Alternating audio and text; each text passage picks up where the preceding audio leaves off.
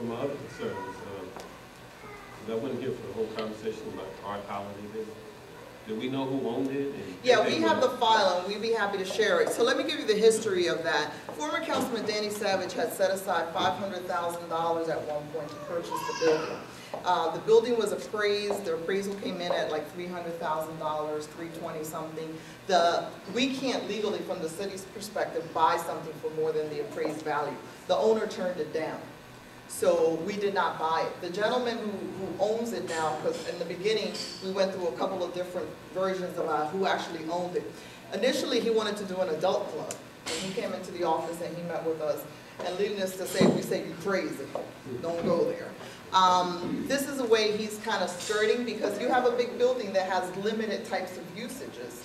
Um, so this idea of these parties, he rents it out to someone, um, and what we have to find out is legally if the zoning allows him to, to rent it, you know, for these cabarets, bring your own booze, or all these other parties.